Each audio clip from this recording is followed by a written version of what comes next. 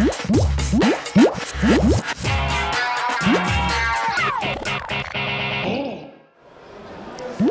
I'm Amy Lewis with SolidFire, and I'm here at VMworld 2015 with Julian. Julian, can you introduce yourself? Yeah, hi, I'm Julian Box. I'm co-founder and CEO of Calligo. Excellent. So, Julian, what trends are you seeing in the storage industry? What is hot? What are you interested in? Tell us a little bit about what's going on out there.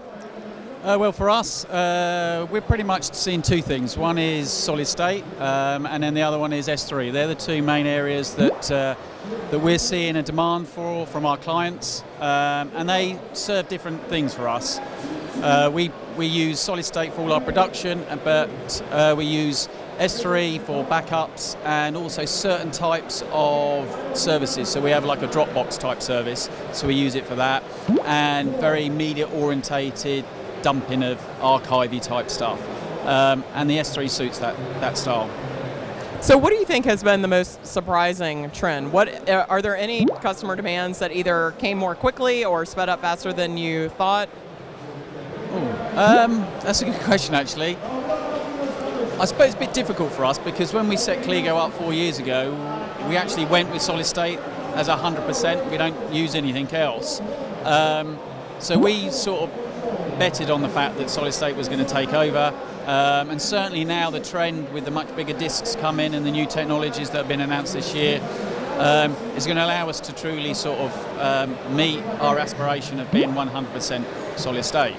Um, so maybe that's that's come a little bit quicker than we thought. Um, certainly the disk sizes have jumped massively in the last um, 12 months, and obviously the next 12, 18 months they're going to go, you know, really big in comparison to where they were just two, three years ago.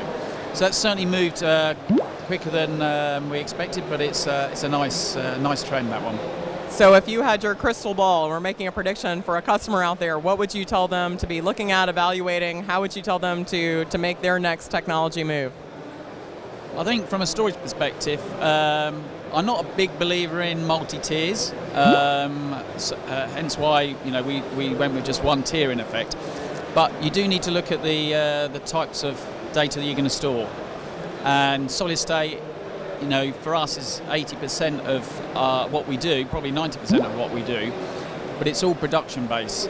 And then the archive in the backup, then you really do, I believe, you need to look at S3 because it, the flexibility, the ease of use, the way you can just plug it into stuff really quickly because everybody supports it now. Um, so when you're looking at storage, look at the data set rather than what you're actually trying to um, run on it. It's more the data set itself, in my opinion. So, since we're in Barcelona, I have to ask you one Barcelona based question. Tapas, good idea, or you're totally done with it? Uh, no, I love tapas, Tapas. so uh, yes, definitely a good idea. Yeah. It's the scale out food. It is, absolutely. The problem is you tend to eat way more than you th- expected to. It's a bit like storage, actually, isn't it? I think there's an analogy there. We're going to have to work on this. Yeah, Thank you so much, Julian. Thank you.